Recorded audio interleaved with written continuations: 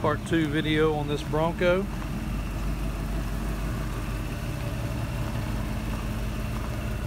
Hopefully the video will show the metallic and pearl that's in the paint. But it sure has an extremely good luster.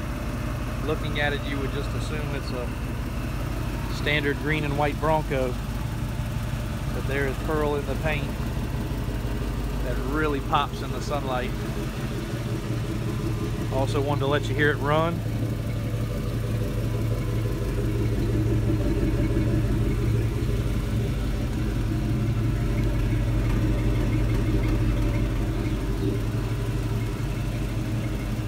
This Bronco is very, very impressive. Not only just because we built it, but for what somebody's gonna be able to buy this truck for is a drop in the bucket.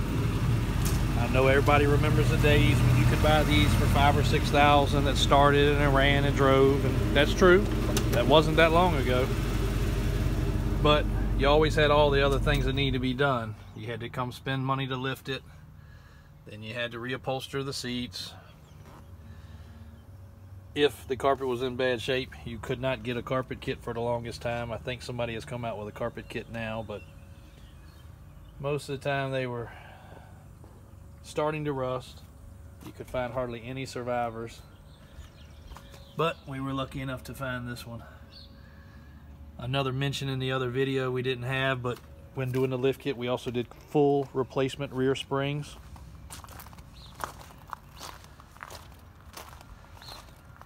Of course, it does have the front and rear bumpers, LED light bar, upgraded stereo. I was just doing the quick math in my head.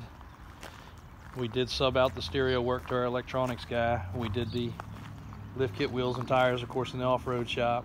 Paint work was subbed out to our paint guy that does restoration work. We did the uh, seats, a couple other things, so it's definitely a very solid piece and about half the price of what's invested into this truck currently. If you got any questions, give us a call, 804 271 0030. Thank you.